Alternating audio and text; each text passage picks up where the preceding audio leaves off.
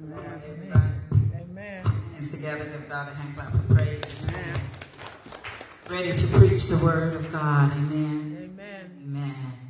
Let us pray. The Heavenly Father, God, we come before you right now as humble as we know how. Preparing to preach your word, your truth to these your people. God, let the words of my mouth and the meditation of my heart be acceptable in your sight. Lord, you are our rock, our strength, and our Redeemer. It is in the mighty and matchless name of Jesus that we pray and ask these blessings. And every believer I'll say amen. Amen. Amen. Amen. Amen. Amen. Uh, subject today for those who, who would need one is a continuation from the message that we preached on last Sunday, Walk into Your Season. But this is part two, uh, declaration. Uh, walk into Your Season, part two, declaration coming from Ruth, uh, the first chapter of Ruth, looking primarily at verse 16 and 17. Ushers, you are relieved. You may be seated at this time. And so we want to look at walk, walking into your season, part two, declaration. And last week, uh, just a quick summation of last week, we looked at the scripture walking into our season, but it was dealing with decisions. Uh, decision is just uh, being determined to follow a course of action. And so we said in 2023 we would uh, make decisions determined to follow a course of action. And we reflected upon several scriptures where we looked at we would make decisions to serve God, like Joshua did. We would make decisions toward our family, like Ruth did with Naomi. We would make decisions toward leadership so that we could line ourselves up like Elisha did to get a double portion of the anointing and we would make decisions to complete tasks. Uh, we considered uh, for that lesson uh, Nehemiah as they rebuild the wall in 52 days despite opposition. But today, just for a few moments, we want to look at Ruth again uh, with her decision on last week uh, and that she made toward her family.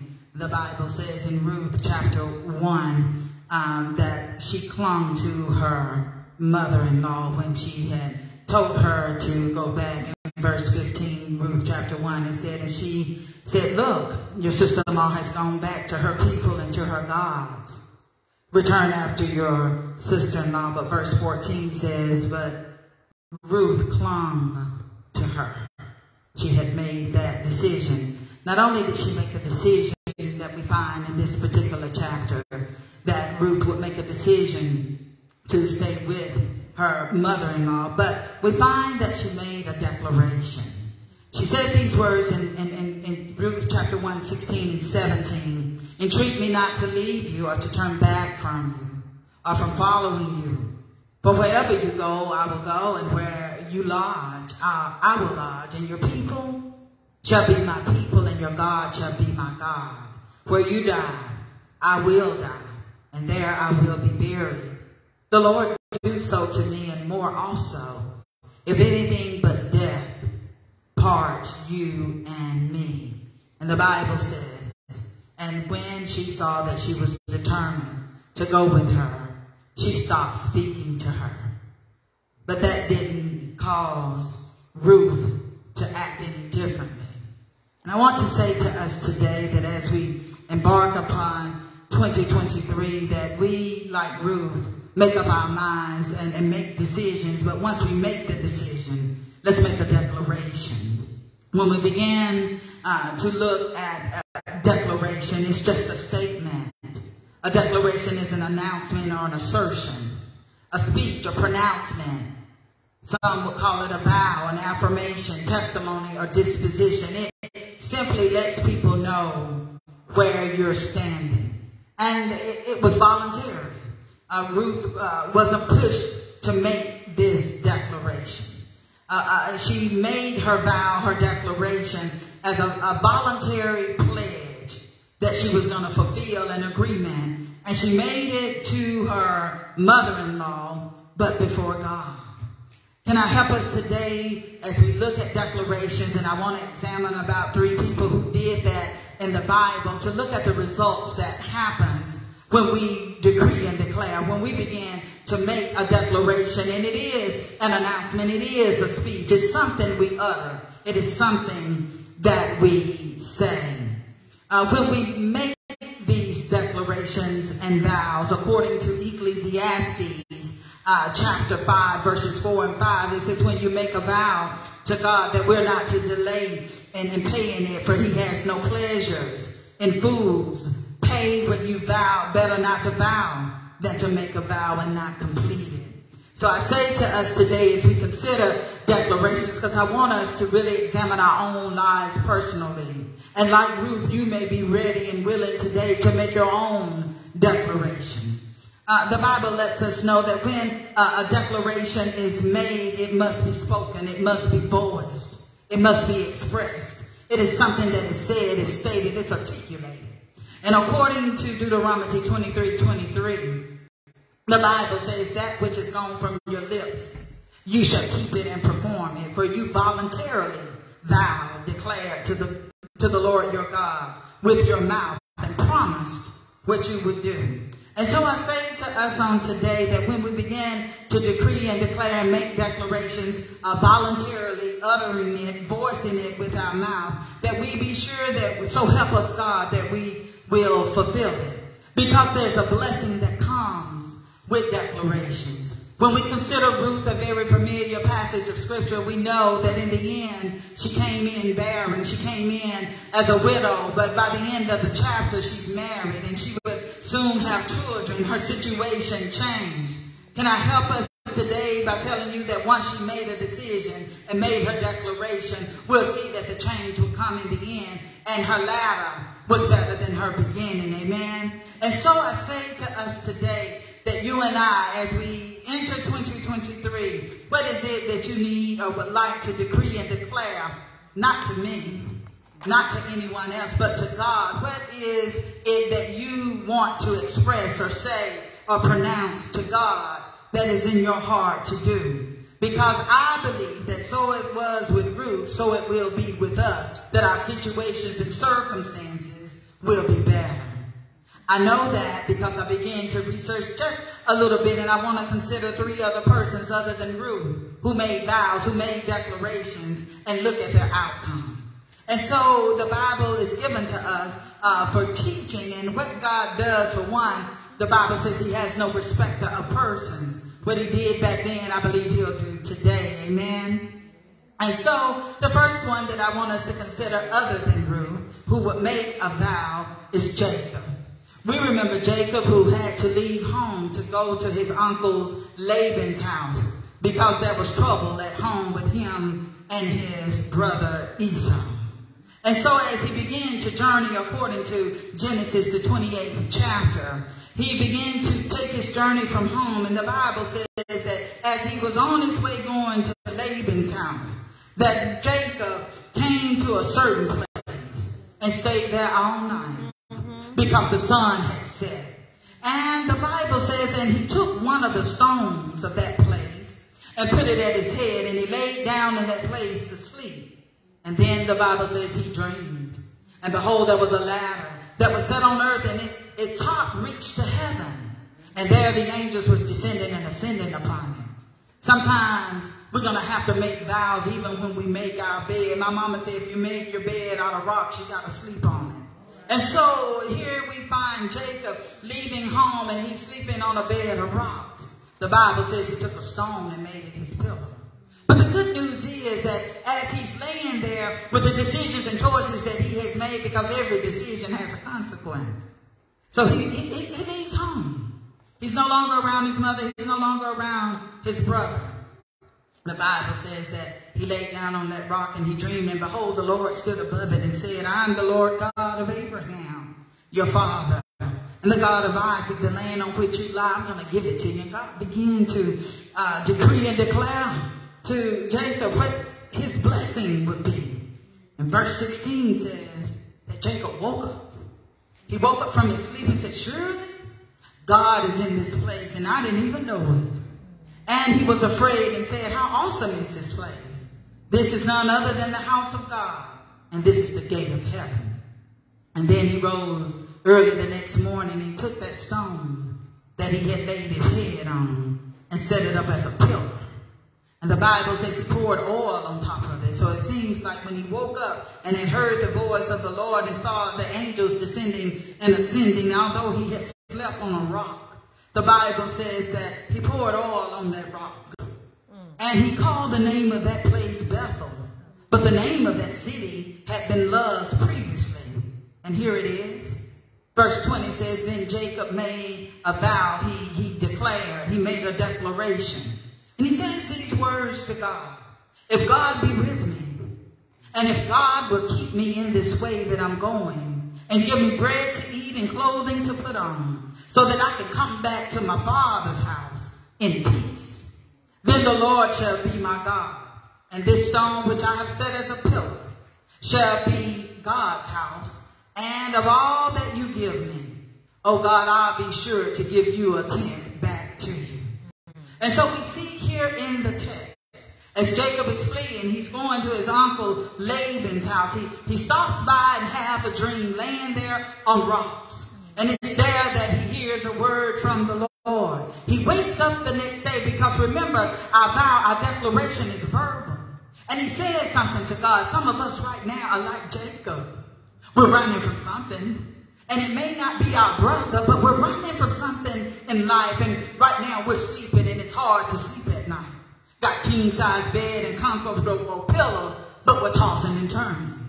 I decree and declare that I believe that just as God spoke to Jacob, he'll speak to us in this season. And so the Bible says that Jacob woke up and said, Oh God, I know you've been here. And he made a vow. What is it that's bothering you and I today? that we have restless nights and we made our bed on a bed of rocks. I want to submit to us today that if we, like Jacob, would make a vow unto the Lord, it says, then Jacob, going to his uncle's house, leaving his family behind, said to God, if you will be with me, oh God, if you will keep me in the way that I'm going and give me bread and clothing. Not only that, he said, I want to come back home. And when I get home, I don't want my brother to be mad at me no more. I want to come back in peace. And then the Lord shall be my God. He said, God, if, if you'll do these things for me, I'll worship you. You'll be my God.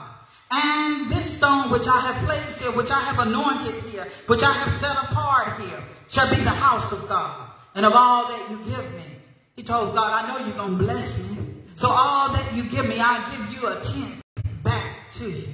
Can I help you today by telling you when we begin to make our declaration to God, I believe it comes with a blessing because I know that the, the Lord hears us. The Bible says in verse 13 that the Lord stood above it and said, I'm the Lord, the God of Abraham, Isaac, and Jacob. The land where you're at, I'm going to give it to you, and not only you, but to your descendants. Your descendants shall be as the dust of the earth. They'll spread abroad from the west to the east, from the north to the south. And in you, all seeds and families of the earth shall be blessed. Was going to be blessed to be a blessing. Behold, he tells him, I'm with you. And I'll keep you wherever you go. At Laban's house, when you return back, I'll be with you and bring you back to this place. For I will not leave you until I've done what I've spoken. How many know that we can believe the word of the Lord? What God says, he follows through on his promises. So I submit to us today that some of us, perhaps like Jacob, may need to make a declaration, a vow to the Lord. And see, is it that God won't follow through on it, just as he did with Jacob, and bring him back to that place, but you'll come back better than you were before you left. Begin to think about the declaration that you need to make, and perhaps, like Jacob, we're sleeping on rocks. But God is ready in this season, I believe, to turn it around. The second uh, vow that I want to submit to us, the second declaration that I want us to consider, not only will God bless us with possessions and bring us back, but the Bible says in Numbers chapter 21, particularly verse 2, that the king of Abraham, the Canaanites, they were attacking Israel. And Israel heard that they were coming on the road to them. And they began to fight against Israel and took some of them as prisoners. Sometimes it ain't no time like that time when we feel that we've been captured, when we are at a place when we can't move to the left or to the right, that we'll begin to talk to God. But the Bible says, so Israel made a vow to God and said, if you will indeed deliver this people into my hand, when I, then I will utterly destroy the cities. Remember, a vow is something that's voluntary. A vow is something that's other. A vow is something that should not be broken. And so when they realized that their backs were up against the wall and Israel made a vow to God saying, Oh Lord, if you'll indeed let us defeat the enemy, defeat the Canaanites, I'll utterly destroy their cities. And the Lord did something. Because when we begin to make decrees and declarations unto the Lord, I believe when our heart is honest and we voluntarily do it, that we get God's ear. And sometimes that's all we need in the situation that we find ourselves in. We want to be delivered, but we don't have the ear of God. We call our brothers and our sisters, our parents and our friends. We even call the preacher, but when's the last time you got the ear of God? The Bible says, so Israel made a vow to God and said, oh God, okay if you deliver us. We'll utterly destroy the people. And the Bible says, and the Lord listened. How many here today need God to listen to what you're decreeing and declaring, what you're vowing? And the Lord listened to the voice of Israel. And he delivered up the Canaanites. And they utterly destroyed them and their cities. So the name of that place was called Hormah. Stop by to tell you today that as we begin to make our vows unto the Lord, if we're honest with ourselves and God knows our heart, he'll listen. And something happens when God listens to us. The Bible says that they were able to defeat the enemy. I don't know what you are facing today, but it may not be an army as Israel was facing, but it may be an army of another problem that you're dealing with and you need deliverance from it. So it was with Israel, so it is with us today. I promise you that if he did it then, he'll do it now. And the Bible says, God, listen. When you make your declaration in this season, maybe tonight when you get home and begin to reflect back upon this message or play, press replay, you'll pause it right there and say, God, I need you to listen to me. Because when you listen to Israel, you delivered them. And I got a situation that I need deliverance from. I got a sickness and I need to be healed. I got a financial problem and I need a breakthrough. I got issues with my family and I need restoration. What is it that you need God to deliver you from? I dare you to make that vow and when you make it, I believe what he did then he'll do now. He'll listen to us. Not only did he listen, the Bible says, and he delivered. Isn't that good news? Anybody ever told your problems and circumstances to other folks and they did listen, mm. but there was no deliverance. Can I help us today by telling you our deliverance comes from God and God alone? No wonder the older people would say, Father, I stretch my hand to thee. Mm. There's no other help I know if thou withdraw yourself from me. Where shall we go? God listens and God delivers. The third one that I want us to consider as we, we hasten is Hannah. Hannah also made a declaration. She, she made a vow and she soon discovered.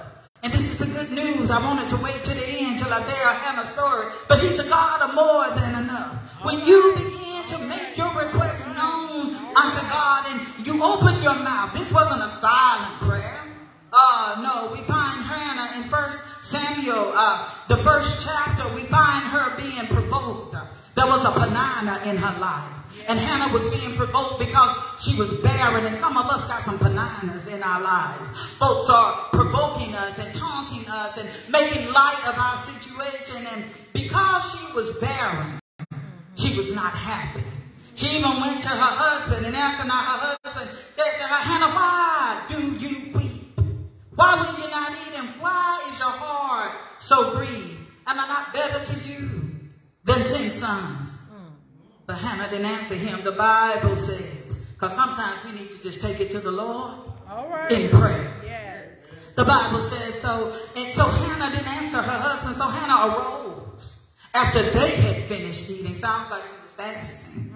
Uh, she needed a breakthrough. After they finished eating and drinking in Shiloh, now Eli the priest uh, was sitting on the seat at the doorpost of the tabernacle. And she was in bitterness of her soul. And the Bible says that Hannah wept and she prayed to the Lord in anguish. Sometimes when you make your declaration to God, it may be with tears in your eyes. I like Hannah because she didn't tell her husband anymore what her problem was. Because telling him wasn't changing the situation. All right, all she decided to talk to God. And the Bible says in verse 11, 1 Samuel chapter 1, verse 11, then she made a vow to the Lord of hosts. Hmm. She told the Lord, if you will indeed just look on the affliction hmm. of your maidservant. We saw that Israel's got God's ear. Mm-hmm. She got God's eye. When we get ready to make the declaration, sometimes we just need God to look at our situation. All right. Some of us are just like, just like Hannah. We're barren. Hmm. Uh-huh. You're trying to give birth to something in your life. It's something new, perhaps that you want to do, or something you've been wanting for a long time. This didn't just happen overnight. She had been wanting a child for a long time. Hmm, hmm. But the Bible says that she, she made a vow to the Lord of hosts and said, Lord, if you'll just look on the affliction. Hmm. Sometimes all we need God to do is just look at us. Right. Just look at my affliction. And then she said, when you look at me, God, I love her. She said, don't just remember me. Don't forget what I look like. Don't forget this broken spirit. Don't forget this barren woman. Don't forget that Peninnah's been provoking me. Don't forget that my husband is trying to be the best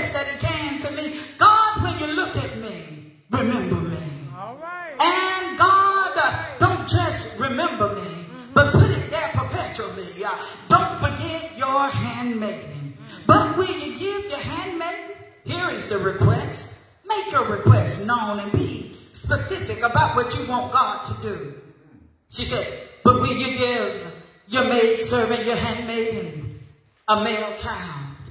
And this is what I'll do, Lord. This is a declaration. Since you're looking at me, since I got your attention, then I'll give this child uh, back to you all the days of his life. And no razor shall come upon his head. And as this declaration, sounds like she was at the altar weeping and in anguish. The Bible says that the prophet saw her. And it happened as she continued to pray before the Lord. Don't let other folks looking at you stop you from praying. When you got God's eye on you, you better make your declaration. You better make it known. And it happened. The Bible says that she continued to pray before the Lord that Eli watched her mouth. Mm-hmm. God was watching her situation. All He was watching her mouth. Uh-huh. Now Hannah spoke in her heart. Only her lips were moving, but her voice was not heard, and therefore Eli thought she was drunk. So Eli said to her, How long will you be drunk? All right. Why don't you put away the wine from you? It doesn't matter what people say. Man. Yeah, I'm drunk, drunk in the Holy Spirit. You need a breakthrough. You need God to give birth to that thing in your life. And so, but, but Hannah answered and said, No, my Lord, I'm not drunk. I'm a woman of sorrowful spirit. Mm-hmm. I have drunk neither wine nor intoxicating drink, but have poured out my soul before the Lord. Do not consider your maid servant a wicked woman, mm. for out of the abundance of my complaining grief, mm. I have not spoken until now. Mm. Can I help you by telling you, even when you make your declaration, people may think you're drunk, may think you're crazy. Look at that woman, look at that man. Make it anyway. Right. Because when God's eye is on you, breakthrough is subject to come your way. Mm. And so she says to the prophet, she says, I'm not drunk. I haven't spoken until now. And Eli answered and said, Go in peace. And the God of Israel grant your petition which you have asked of him. And she said, Now she speaks. He said, Go in peace. He bids the peace of God, shalom, upon her life. He doesn't shake the dust from his feet. He bids her peace in the name of the God of Israel, that he grant your request. And she said, Let your maidservant find favor in your sight. So the woman went her way and ate, and her face was no longer sad. See, when you make your request to God mm. and you got God's eye, right. you can leave from the altar in peace. All right. And you don't have to say anything to anybody else. Just wait to see the manifestation of that which you have asked for. And she said, Let your maid servant find favor. So the woman went her way. She ate and she was no longer sad. She didn't have the child yet, but she was no longer sad. She was believing God for that which she had petitioned him for. The Bible says, And then they arose early in the morning and they worshiped before the Lord and returned to their house. She left the house of worship. And Elkanah knew Hannah, his wife, and the Lord remembered her. So you remember her prayer? Right. She said, Lord, look on me Mm-hmm. and remember me Yes. and forget not your maid servant. Yes. And so her husband didn't know the vow that had been made. Mm-hmm. The Bible says they rose and they left the house of worship and returned to the, their house at Ramah. And Elkanah knew Hannah, his wife, and the Lord remembered her. So in the process of time that Hannah conceived, and she bore a son, and she called his name Samuel, because I've asked from uh, him from the Lord. All right. Well, the Bible lets us know that sooner or later they, they get ready to return back to the house of worship as they would go up yearly. But this time, Hannah had given birth to that which she asked for. Yes. God honored her request. He looked at her. He didn't forget her. He remembered her. And now the child is here. Mm-hmm. There's only one other thing that needs to be done. She needs to honor the vow that she made. And so the Bible says, Elkanah, her husband said to her, Come on, let's get ready to go. It's time to go up to make our sacrifices and our vows to the Lord. But Hannah did not go, for she said to her husband, Not until this child is weaned. And then I'll take him that he may appear before the Lord and remain there forever. Mm. So Elkanah said to her, Do what's best for you. Wait until you wean him. Only let the Lord establish his word. And then the woman stayed and nursed her son until she had weaned him. Can I help us today? Even when those who are closest to us don't understand. Mm-hmm. When you've made a vow and you've heard from the Lord and he's looked on your situation, stand on that vow. And it was, the Bible says, that when she had weaned him, she took him up.